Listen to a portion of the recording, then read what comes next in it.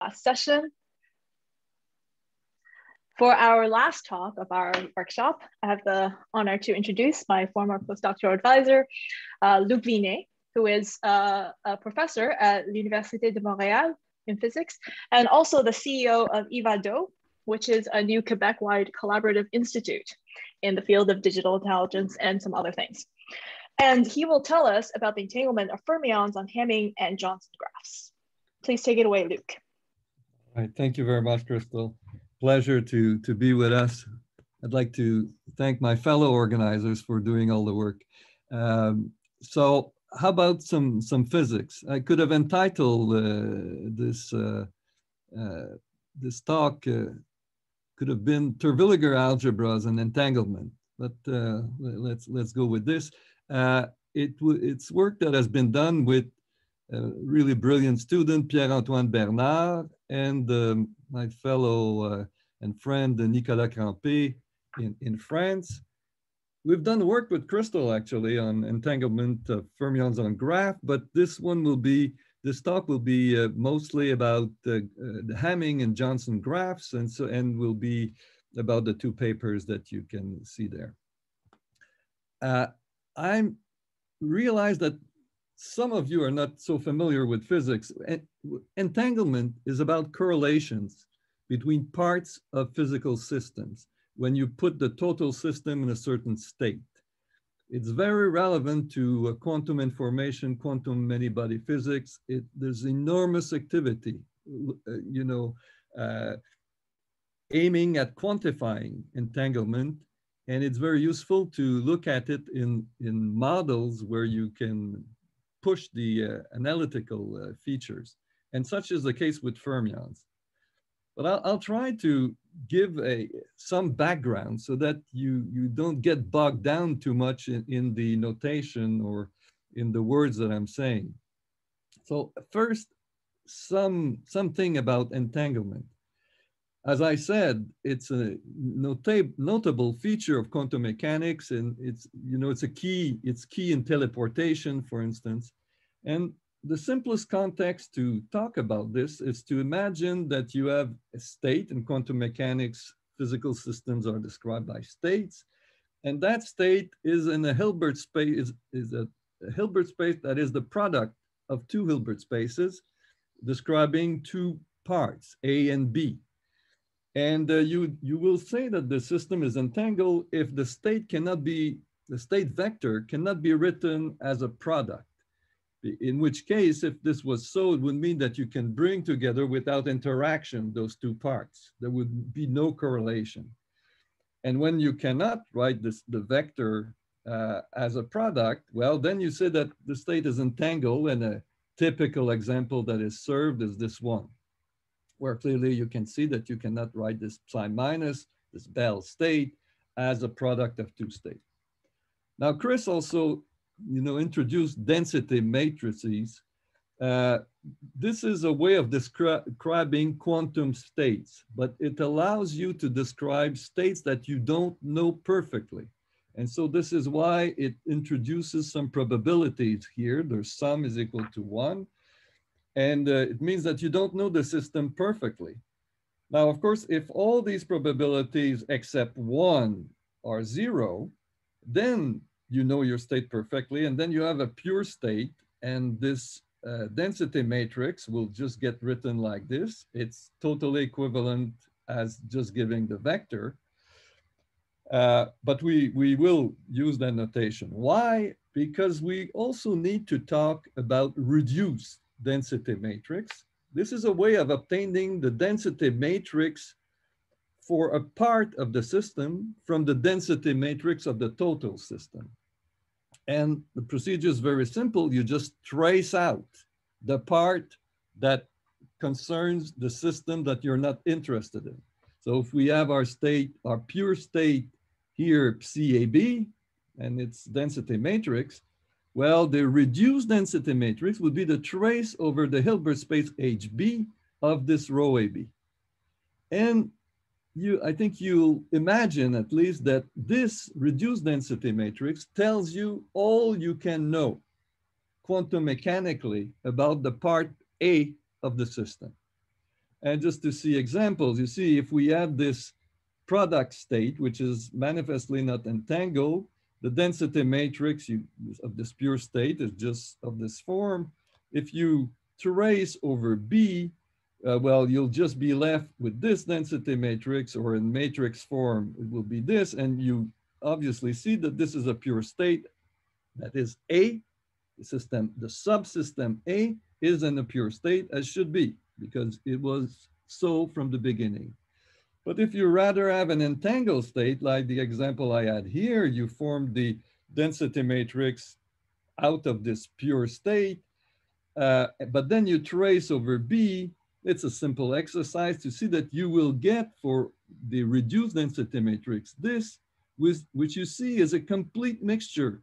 It's this state with probability one half and this one with probability one half. It's a full mixture. So this is what you have when the, so you really don't know at all the state or that, that's all the knowledge you have on this, the part, the state of the part A.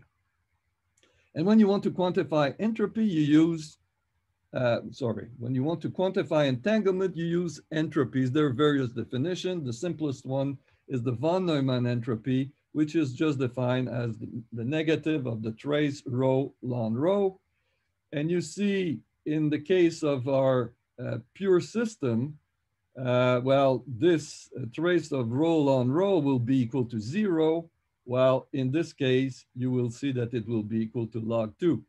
So zero, no entropy, not entangled, uh, and uh, this will be maximal entanglement. All right, so I hope this gives you, if you did not know what it was, a little idea of what we're talking about. We're measuring correlations of a subsystem within with between a subpart and the complement in a total system.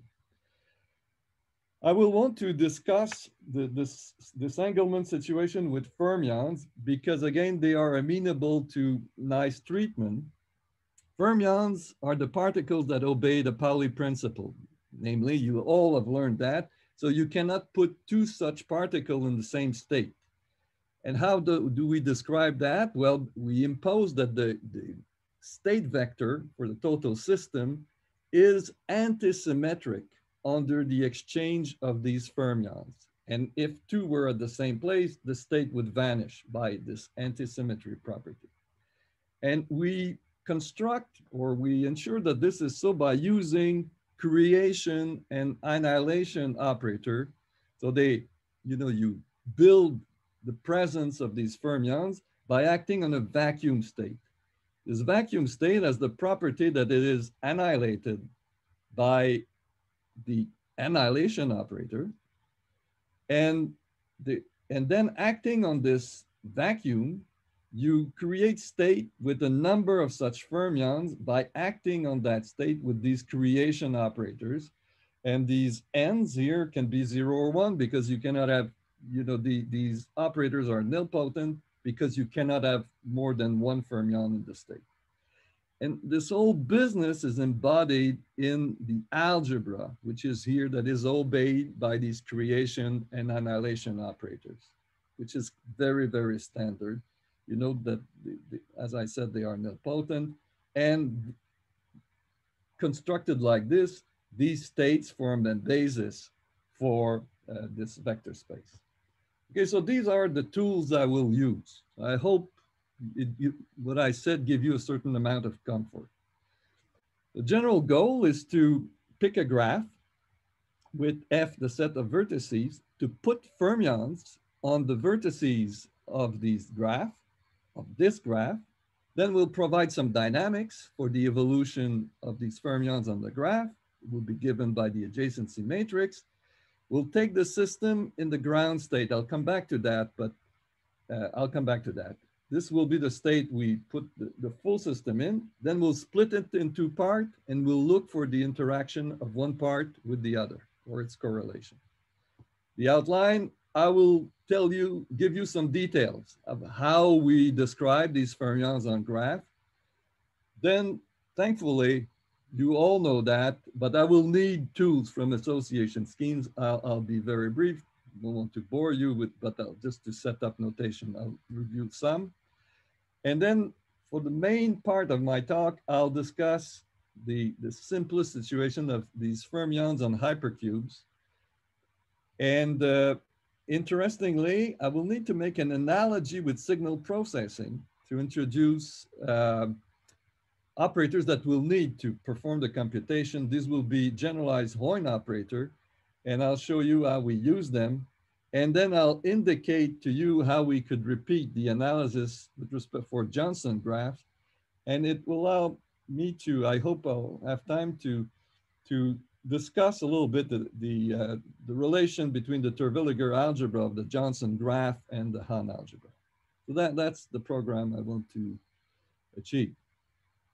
So how do we describe free fermions on graphs? Well, I have, I'll denote my vertices by V and to, you know, I want to be able to create such fermions on each of the vertices. So I will have the, these uh, creation or annihilation operators labeled by the, ver the vertex uh, label. Uh, and uh, I will take A to be the adjacency matrix of the graph. These, these are kets. This is standard Dirac notation. It's just a vector in that space. Uh, corresponding is the characteristic vector for the vertex. And I will form these, these operators uh, through the formula which is there. Then the Hamiltonian H roof, which will be uh, an operator on that space. C2 tensored F time, F being the, the, uh, the size of the graph, uh, will be defined by this.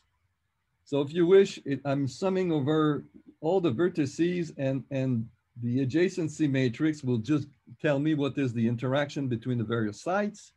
And using the notation, it will, the Hamiltonian will look like this. Now in physics, I want to know the energies. So the, the, the task is to diagonalize this operator H roof. And this can be done just by diagonalizing the adjacency matrix, the F, you see I'm working on that space. This H is on that big space, but it will suffice to diagonalize on the F by F uh, space, the F by F matrix. And so let me denote like this, my, the eigenvectors of A, omega K is the eigenvalue, L labels the degeneracy. Uh, I take those states to be orthonormalized. And so having taken the characteristic vectors also to be uh, norm orthonormalized, this will define an orthogonal matrix that I will use to uh, introduce the creation and annihilation operator for each of the modes. I'm just doing an orthogonal transformation of the uh, creation and operators I had for each site. But in doing so, as you can imagine, it just brings this operator into this form. Namely, now I'm just, you know, counting, this is the number operator, the number of particles I have in each um, energy states. So this is how the diagonalization is achieved. Now, a word on the ground state. When dealing with fermions, there's this notion that we don't have, we, we don't want to have negative energies. So we want to have excitations to be positive.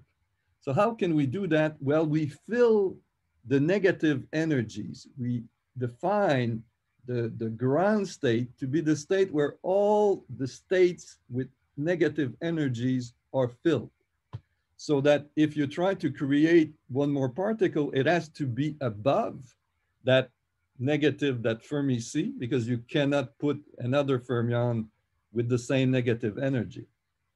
So this is important. So we will define this ground state by filling in the vacuum all the states, all the modes, such that the energy would be negative.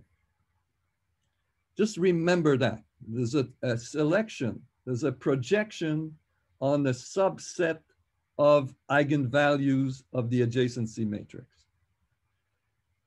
Then the key object is the correlation matrix. So you, you want to know the uh, matrix uh, what is the um, uh, expectation values of operators like that, of destroying a fermion at site uh, at vertex V prime and creating one at vertex V. There, here you'll have to believe me, because we're dealing with free fermions, any correlation, because you might want to compute expectation value for more complicated uh, operators, but they can all be computed from this two uh, point function. So this is really a fundamental object. Okay. And then it, it's easy to see that this is basically a projector now on the eigenspace omega k of A, where uh, you know these k's are such that the energies are negative. Why? Because you see, if so, you pass to the the normal modes or the energy mode, and if that mode is not in the ground state, it will be destroyed. So all so you can only project to those modes that are present in the ground state. So main message, this is the key physical object.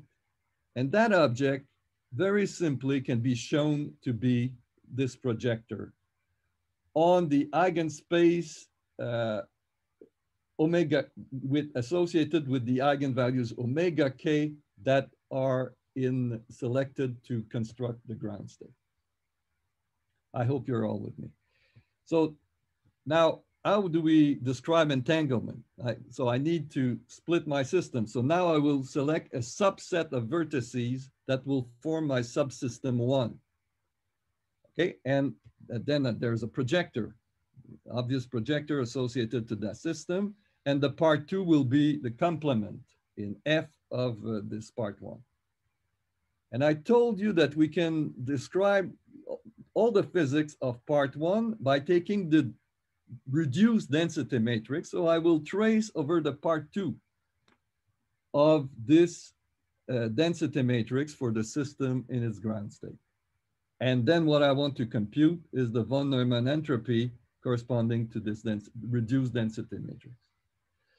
Now, this is a, a bit more subtle, but it is known, we, this, this is a computation that this quantity can be obtained from the chopped correlation matrix. What is that? This is the restriction of the correlation matrix where the labels of the rows and the columns are restricted to those belonging to the part of the system I'm considering, part one. And so because C was this projector, uh, C, C roof was this projector, then if I'm restricting, I will now project with the projector on the vertices. So I have the projector on the uh, various eigen sub subspace spaces of the um, adjacency matrix sandwich with the projectors of the on the vertices.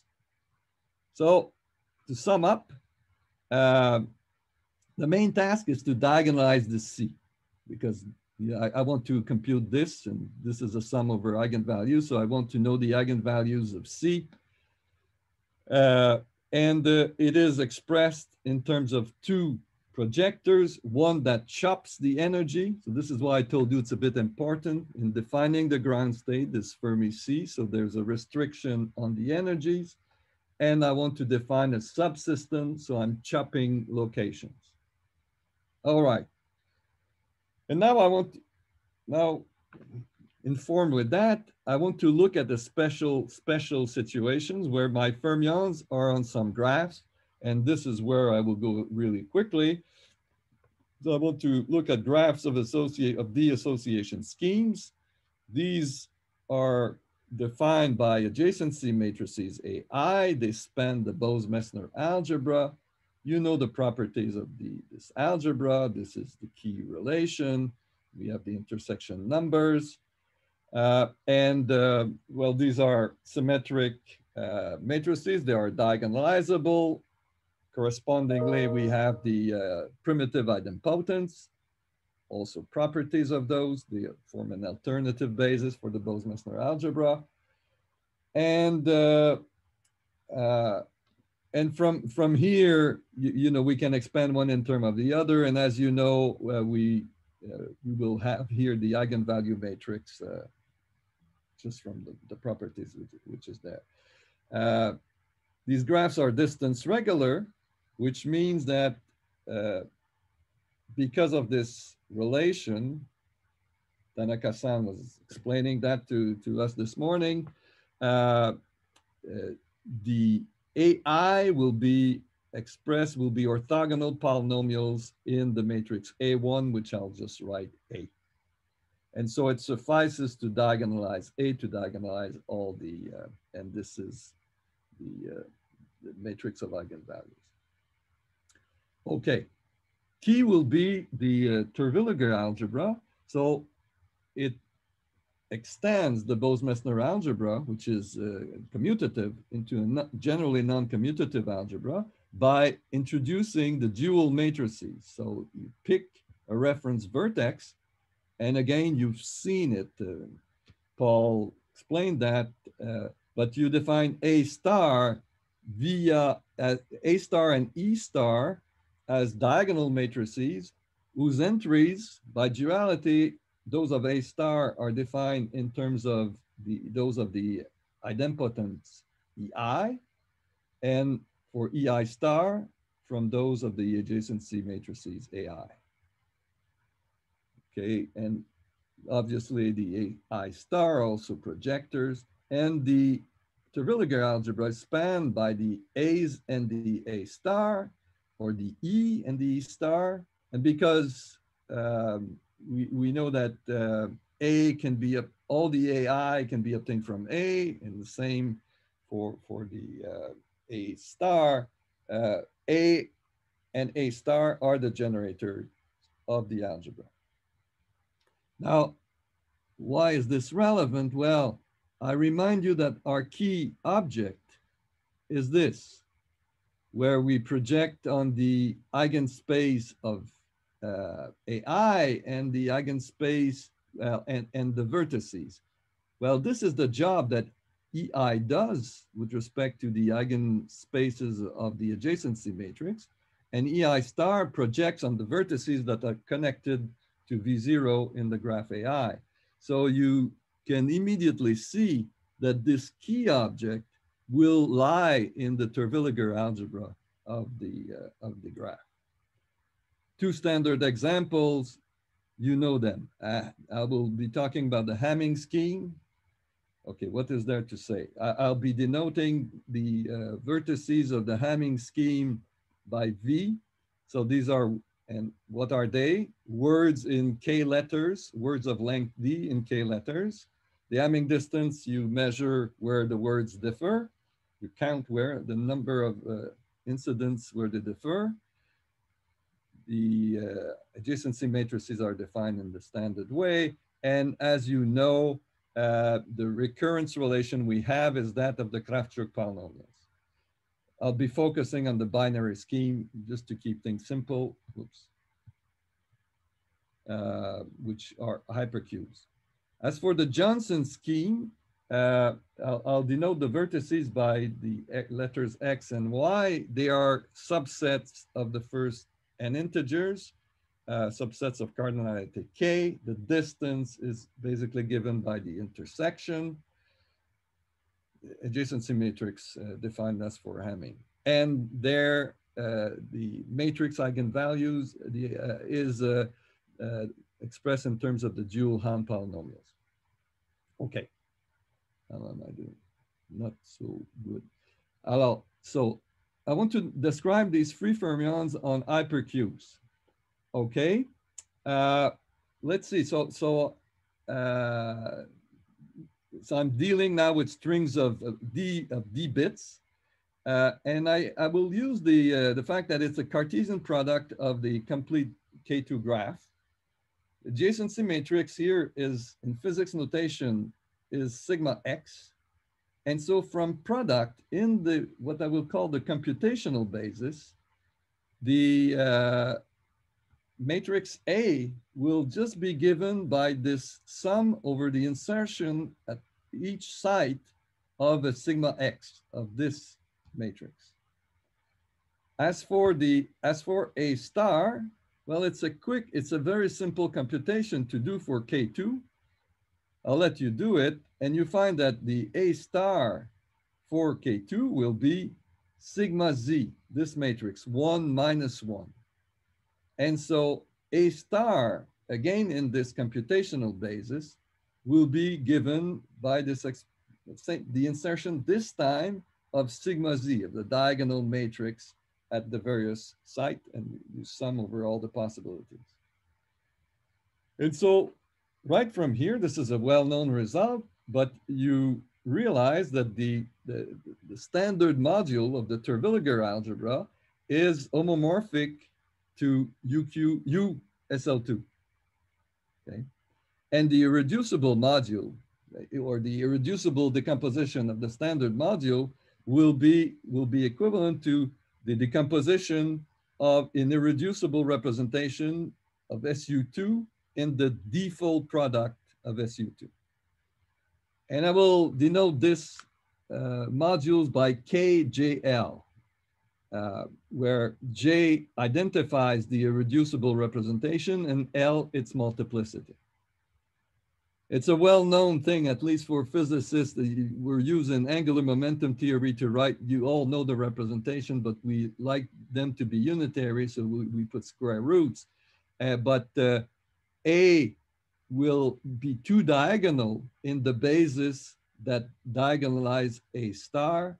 So, and this defines this the addition of this quantum number m, which labels the eigenvectors of a star. And in that basis, we have the action of A. Remember, we have uh, sigma Z uh, and sigma X occurring in the realization of these operators. Okay, I will want to discuss entanglement, so I will need to define subsystems. Uh, I'll do that in terms of neighborhood. And so we talk of the i neighborhood of V0 as a set of vertex that are distance i from V0. Uh, and so, so then I will consider subsystems, the part one, which will be made out of such neighborhood. In terms of notation, I'll, I'll take a, a subset of the uh, d, you know, the integers going from zero to d, and I'll pick all the neighborhood associated to these integers. So this is what this SV, SV defines part one. It's the union of a number of neighborhoods. Okay, now we know that uh, A star uh, on these states, A star is diagonal with this eigenvalue. So it does not take long to realize that this will correspond to a vertex that is at distance d over 2 minus m. And moreover, that uh, each irreducible module in the decomposition of the standard module of the Terwilliger algebra will contain no more than one such vector because there's just one m in an irreducible representation. So only one such vector jm per neighborhood. And then you proceed. It's a standard thing to, to decompose H and C. They both belong to the Terwilliger algebra, to this uh, D-fold product of uh, the, the representation. And so you you introduce the the you know the operators that correspond to the irreducible subspace with its degeneracy and then labeling within the space and you you just uh, proceed and and get this reduction where obviously h roof will now be given over some of the irreducible subspace and with their degeneracy of now a, an operator restrained to the irreducible subspace. It's, I don't need to go through all the step. And similarly, you can do the same because again, this belongs to uh, the uh, Terwilliger algebra. You can bring back or reduce C, our chop correlation matrix, to a sum of uh, matrices restricted to the irreducible subspaces. Okay, now what we need to know is we remember we want to know the, we want to diagonalize the C. This is the name of the game here. So we, but we see that we have a nice reduction through this decomposition, but we still need to obtain the entries of these uh, matrices. Well, let, let's call J omega K the eigenstate of the restriction of the um, adjacency matrix to that uh, subspace. And, uh, and then I, I call QMK the overlaps between the standard representation basis and the, these eigenstates. And now I know that this, uh, I know that this is diagonal on the state and two diagonal on those states. I get the three-term recurrence relation. I identify it to be that of the Krawtchouk polynomial. Having done that, I recognize what the eigenvalue will be. It's of course linear in K. And, uh, and so, and then a little computation doing the same thing, just reintroducing these overlaps uh, and using the properties of the projectors, which are trivial. It just has the effect of restraining to the various domain. You see that this uh, correlation, these matrix elements, are given by bilinear expression in Krawtchouk polynomials. Okay. So let's leave that aside for a moment, uh, because now that we know uh, these C's, uh, wrong move, uh, well, we can compute the entropy. We, we get a significant reduction with respect to the dimension because uh, C was the cardinality of the, the space. Now we have a further re reduction. So for instance, if our subspace consists only in one neighborhood, well, then it means that we know that we have only one M, one M in that neighborhood. So it means that this matrix is only one by one. The problem is solved. We just need to account for the degeneracy, the number of time this irreducible subspace was occurring in the decomposition. And we can proceed and it shows interesting physical features that I'll spare you for the sake of the lateness of the week. But more interesting is if we consider a part, a subsystem, which is made out of a number of neighborhoods. And so let's say that we take all the vertices that are at a distance uh, lower than uh, a certain big N.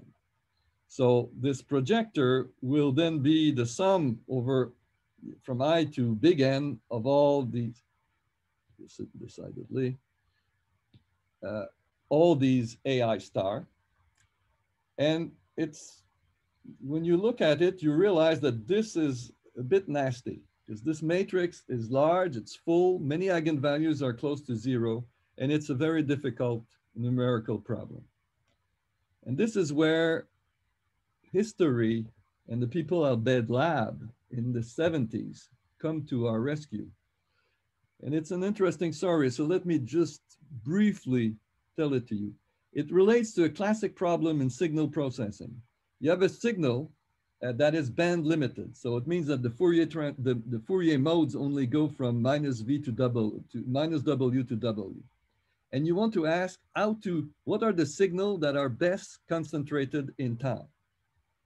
The answer to that question is obtained by solving an integral equation of that form where the kernel is the sinc kernel. It seems fine, but same problem. Uh, this is numerically very difficult, a full matrix with the eigenvalue, many eigenvalues close to zero. But the day was saved by the, by the fact that Slepian and company, they found a miracle that there's a second order differential operator that commutes with this integral operator. And this integral operator, as it turns out, can be written in that form. Projector over the time band, sandwiched between the projector between the frequency band. And uh, so you note the similarity with our uh, CHOP correlation matrix. This operator that commutes with the uh, integral operator is of this form, which is the prolate spheroidal wave function operator with a special case of the confluent Heun equation. And why is this a miracle? Is because if D and J commute, they share the same eigenfunctions. D is a second order differential operator, easy to treat numerically. You find the eigenvector, then you from you act with G on these eigenvectors, you get the spectrum. Well, then so back to entanglement, the comparison, uh, you compare with fermion exchange, well, you will recall that defining a ground state implied truncating energies. So this corresponds to band limiting. And we have this projector, PSE. Partitioning the system, defining part A, part one, and part B, amounted again to time, to, to some limit, to time limiting. And in that case, we had this projector. And the task was to diagonalize something that looks in shape very much to diagonalize G. So from this analogy, we may ask, well, can there exist an operator T with very nice properties, so uh, numerical properties, that commutes with this CHOP correlation matrix, and, uh, and that will share eigenvectors with C. And this operator belongs to the family that we've called generalized Heun operator, in part because of the connection with this band and time limited. And uh, as you see, if I write it like this, the, the bracket is the anti-commutator. It's a bilinear in the generators of the Terwilliger algebra. And the idea is to choose the parameters mu and nu so that it will indeed commute with uh, C. And this can be done. Main reason is because T is block tree diagonal in both the energy basis and the position basis, the vertex basis. And uh, you recall the action. This is just expressing the projection. I will not read the equation in details. And from the fact that uh, these are three diagonal, you see that T on JM, well, it will have a raising part. Well, it will increase M by one. And so at some point, you want to, you want it to chop, okay, when it reach, when this band is saturated. And similarly, T on in the energy basis uh, will also raise the energy by one. And at some point, you also want it to chop when you go beyond the uh, states of negative energy. And you see that, uh, well, you can enforce that. When you arrive at the bound, you have an you will want to kill this term. And so you fix nu appropriately. And here you do so with mu. And here are the conditions that this amounts to. And if it chops, it means that it preserves the image of the projector, so it commutes with the projectors. So we, if it commutes with each projector, it will commute with the, the full chop correlation matrix, which is made out of these projectors. And because these parameters don't depend on J, as you can see, you can do it for all irreducible subspaces. It holds for all KL. And then you can, from there you can work. I will not do that for you because I'd like to give you a little bit more combinatorics, uh, but you can diagonalize this T. Uh, we, we, have its action here. It's, uh, it's not complicated. And then afterwards you act uh, on the eigenvectors of T with C, you find the eigenvalues and you compute C you compute the uh, entanglement entropy. I'd like to close telling you the story because I think it's a bit neat about how you could you approach in the same same way that Johnson graphs. So you, you see that the key steps were to identify the Terwilliger algebra. So I'll call this one uh, TJ for Johnson, and then to obtain the irreducible decomposition of the standard uh, module. And to do that, you embed uh, something that I think is quite well known. You embed the Johnson graph into the uh, hypercube. So X are the vertices of uh, J and K. Kept at X, the characteristic vectors. Uh, the, uh, okay, this is just the definition of A star. I won't repeat the J. I'll tell you when it differs. So I will have J's and H for Terwilliger generators of the Terwilliger algebra of the Johnson scheme and the Terwilliger algebra of the Hamming scheme. Okay, now now I, I want to make the correspondence uh, between these, these two algebras. And so the V's are the vertices of the uh, Hamming scheme.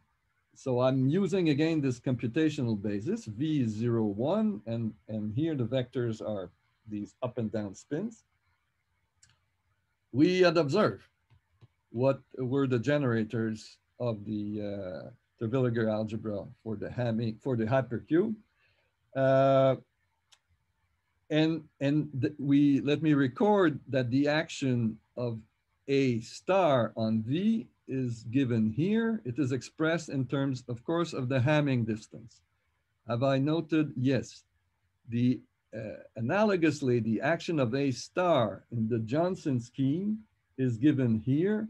What matters, there's some factors, don't bother too much with that, but of course it involves the, John, the Johnson distance, D. So D and partial distinguish the two uh, distances.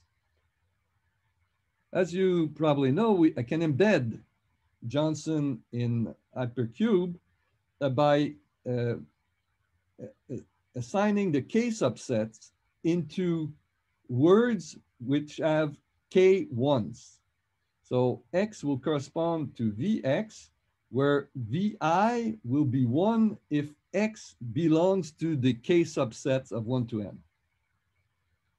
Okay, and so uh, what will this tell you? So the, the, the vertices of j and k will be correspondence with sites in the cube that are in the k, k neighborhood, obviously, because I will have k1s of zero. This is the image uh, of the uh, projector EKH star, right? So as, I don't know if I need to do an example. Uh, so the V associated, so I'm in J31. So if I have the point, the, the set two, well, I, this will correspond to zero. I will put the two in the second place, three, we'll have the three. You can see that the distance, the Hamming distance will be two, while the Johnson distance would be one. And you can convince yourself more generally that if x uh, or if vx corresponds to x, same with y, from Johnson to hypercube, the distance, uh, the Johnson distance between x and y will be half the distance between the corresponding uh, vertices in the, in the Hamming. And then you have, I'm at time.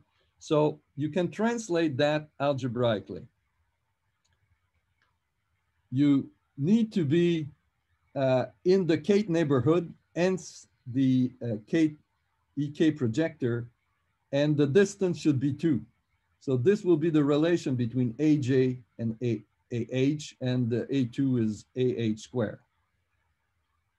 Now, uh, for A star, now I would like to compare AJ star with AH star these are the two formulas I had written, but you cannot quite compare because this is V0 is not V of X0. So there's a trick. You perform an automorphism that exchanges V0 with V of X0, and it preserves the distance. You go through the steps, and then you're able to compare. And from the comparison, you find that AJ star is given, I had forgotten to put an H, but is roughly the action of this automorphism on the A star of the Hamming scheme. And I'm almost finished because uh, I'll try to be quick. Now, in the Hamming, we, we can write the, um, the generator A, we can split it in, just because of its form into a part of, uh, you know, 2 to the n minus k and 2 to the k, where we put this, the, the sigma x insertion in that part first, and then we add them for the rest in this part. So we split it in two. Same, same with the A star. But because this, I'm going a bit fast now, but you see this automorphisms involve, involve sigma x.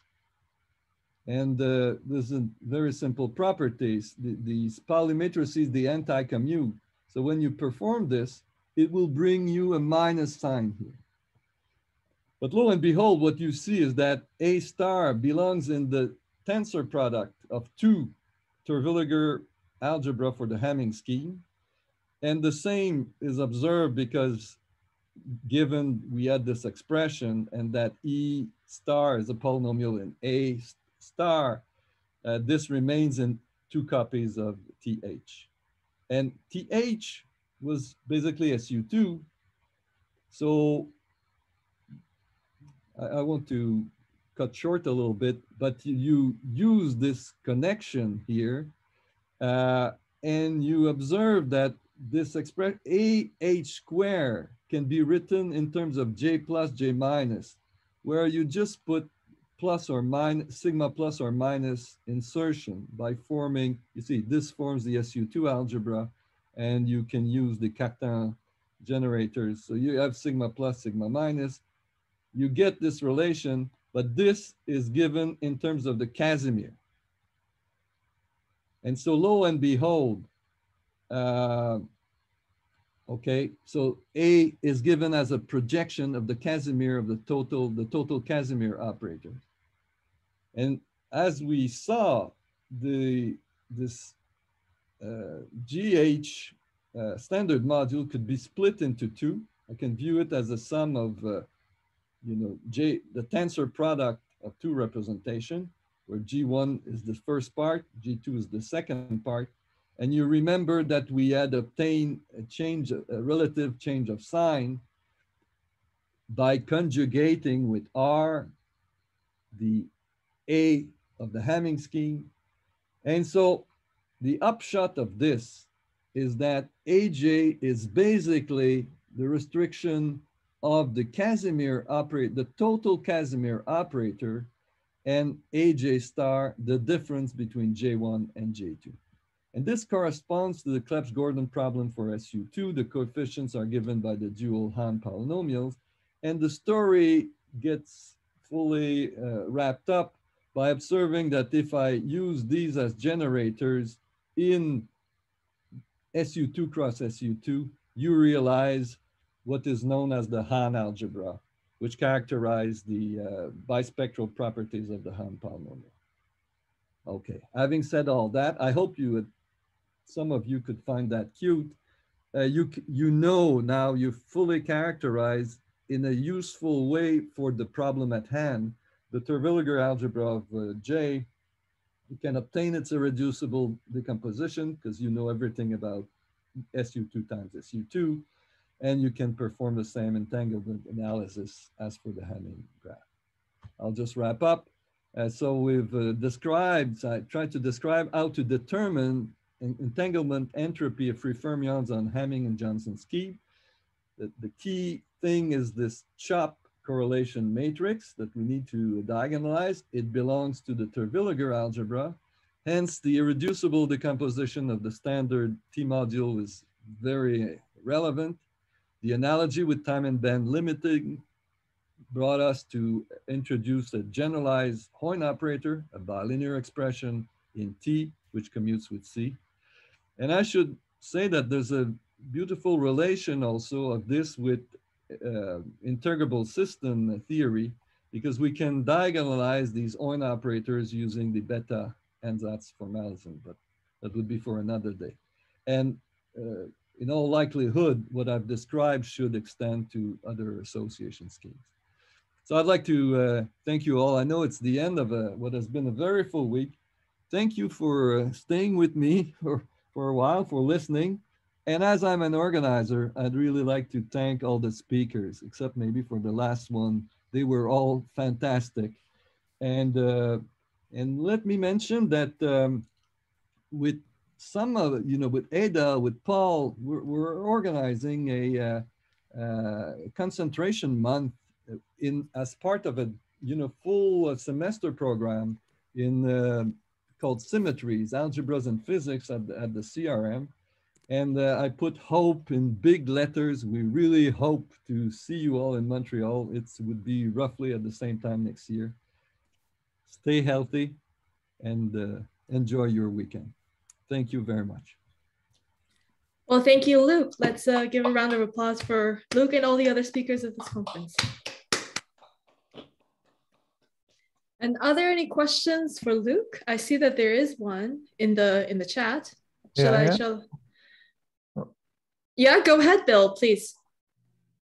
So, uh, so, so, thank you very much, Luc. Luc, it was it was a great uh, way to cap off the week to to uh, include the algebraic graph theory to the physics in, in, in the, the, full spectrum of the week in one talk. It was very nice.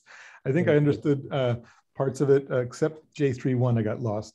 But um, I, you know, I, I, um, I, I was um really curious about this um, this analog of the differential operator. So you know, there are various things in the graph theory literature about something uh, differentiating on, on, on a Hamming scheme or other association schemes. Um, is there is there some way in which this analog behaves like a differential operator combinatorially? Oh, I, I really have not no I don't know. It's just a big, big messy matrix. Uh, yeah, yeah, I, I really don't know. But it, it's um, it, I I find it quite remarkable that uh, it's this history of uh, maybe uh, 40, 50 years ago is now brought to uh, to, to bear on very current uh, problems. And, and, the role that uh, the algebra of Paul, the Terwilliger algebra is playing, it's, it's quite beautiful. But well, I don't know, I, would be very curious to, because uh, I'm quite intrigued and it's not the end. Uh, it, it, it all, it relates also deeply to the study of bispectral problems and uh, integrable models. It, so it ties many very nice mathematical and topics and physical questions together in a beautiful way. I have no idea how you found that Slepian uh, paper, but that's, that's a great connection. Thank you. And uh, let me, just as one of the participants, I want to thank all the organizers, Luc included. Um, as participants, we had a great week and there were so many wonderful talks. So if, if we were in a room, I'd stand up in front of the room and embarrass you. But uh, thank you very much. Bye. Thank you, Bill. Uh, can I ask a question? But it's a naive question. Um, so um, are the Johnson schemes and Hamming schemes special? Like, are they more favorable or, because you also mentioned that you can look at other association scheme.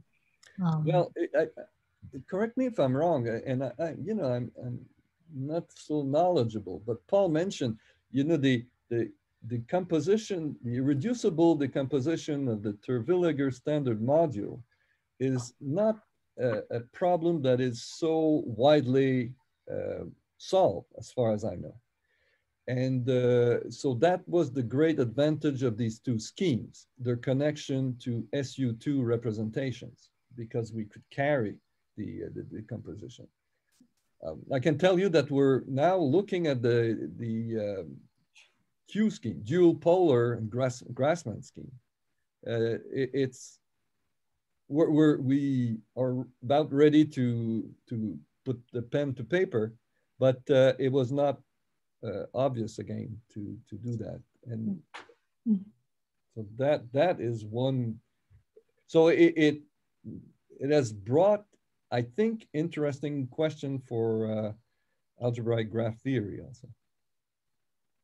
Paul, uh, Paul, do you care to, to comment uh, on that? I, I, might be talking nonsense, but uh,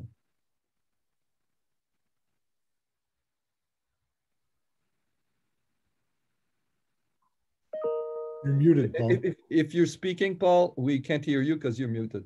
Oh, okay, sorry. Yeah, for the um, for the Johnson and and Hamming graphs, uh, as you're indicating, it's very clear what is the decomposition of the standard module into irreducible T modules.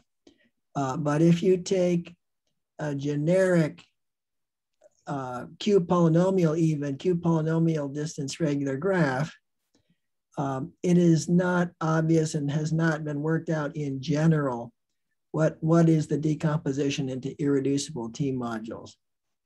Uh, it is a little, it's always been a little mysterious to me why that problem is so difficult. Um, it doesn't, one, one likes to um, uh, uh, you know, solve, solve the problem, any given problem, uh, you know, using only the intersection numbers of the, of the given graph, but somehow there isn't quite enough information uh, if you know for a generic uh, Q polynomial distance regular graph, not quite enough information coming from the uh, intersection numbers uh, to enable you to completely decompose the standard module into irreducible T modules.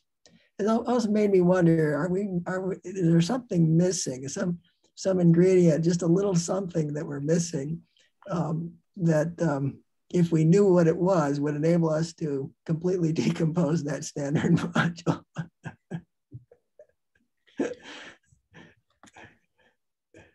so Bill, the the other scheme that we we did do this for with Luc is the Hadamard the Hadamard graphs because they're the first T module is actually the Holt-Terwilliger algebra, which we use implicitly but not explicitly.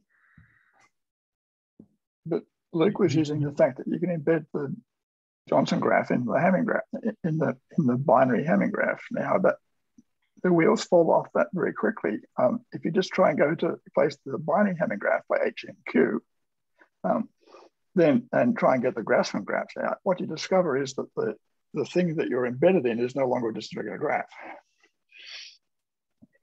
So there's an algebra there, but it's not it's no longer just a regular graph.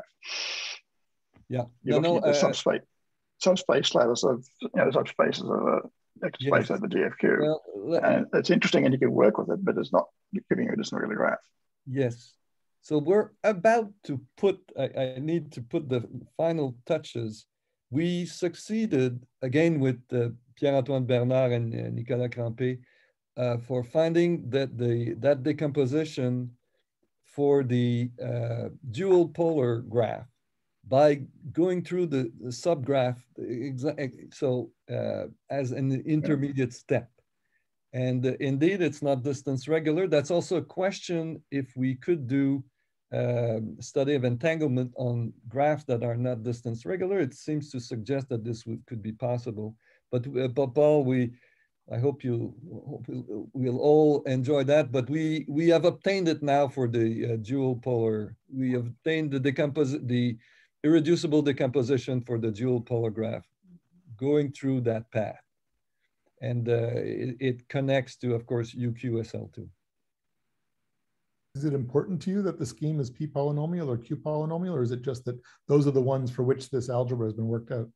Uh, well, this is what we're starting to put in question. It, it's just because it's the more the most natural to study. We started with Hamming uh, for obvious reasons, but uh, well, uh, I don't know. We'll, we'll, we'll, look at we'll look at that. These uh, so many of these distance regular graphs um, are uh, so Im embedded in a, um, a poset, uh, a very, very special sort, a, a so-called uniform poset. Um, so the dual polar graphs, for example, um, are sitting at the on the top fiber of a certain uh, uh, poset. The elements of the poset are consist of all the subspaces of some fixed uh, finite dimensional vector space over a finite field that are iso totally isotropic with respect to a given bilinear form. Okay, anyway, so certain uh, so poset uh, defined by inclusion, uh, where the, uh, the, vertices of the dual polar graph are the, um, the maximal isotropic subspaces. So they're sitting at the top rank of this poset. Anyway, the poset has this uniform property. Um, I, I wrote a paper about abstract uniform posets uh, back in the early 90s. Um, and I defined a sort of analog of the subconstituent algebra, called it the incidence algebra. And for all these uh, posts, the uniform posets, um, the um, it is possible to decompose the standard module into a direct sum of irreducible uh, T modules, or you know, the, the T being the ice, the uh, uh, the incidence algebra in this case. Um, recently, I've realized that the essential reason why the structure of the uh, these uh, uniform posets worked out so nicely is that al although they are not distance regular graphs, um, they they are distance regular with respect to the zero of the poset, so to speak. If you think of the, the poset as being represented by the Hasse diagram, that think of that as an undirected graph. Um, and um, it's distance regular, not in general, but it is with respect to one of the vertices. The, so think of it as the base vertex, you know, from the point of view of the subconstituent algebra. And more than that, um, the, these graphs are Q polynomial with respect to that base vertex. Um, with as long as you interpret things um, appropriately, uh, you have to replace the adjacency matrix by a weighted adjacency matrix, where your weights depend on the rank, what rank you're looking at inside the poset, so to speak. But anyway, uh, it's possible to generalize the, the, the standard theory of association schemes or distance regular graphs by allowing these weighted adjacency matrices and, and only um, um, consider, you know, no longer requiring um, distance regularity, but just distance regularity with respect to one vertex. Um, so it's possible to generalize the, the, the uh, the standard theory in order to handle these uniform posets and the, and the graphs that we're now discussing. Thank you very much, Paul, for these uh, thoughtful uh, comments. Uh, uh we'll, we'll try to see how they, uh, they must relate to what we are currently uh, looking at. All right. Yeah. I, so, so perhaps we could carry on uh after we send off the conference since Luc uh, maybe has to go, but we can continue on the discussion after some closing remarks. Yes, uh, so uh, it, it looks rude. The fact is I have a, a, a meeting which has started the, uh, and so I, four minutes ago. four minutes ago, I, I thought. Sorry, you're Luc. Very, you're very, you're very well. I was late. It's my fault, and you're very kind to comment on, on, on the on the talk. I, I again, my uh, warmest talk, uh, thanks to all of you for you know, taking part in, in this meeting. And we, we need, a, you know, all the organizers contributed, but Ada, again, our hat to you. Thank you so much. Be all well. And apologies for uh, pulling, pulling away. So look forward to seeing you all soon and hopefully in person. So long. Thank you, Luc. Let's thank Luc and all of the speakers again for great talks. All the speakers. And also, uh, uh, I'd like to thank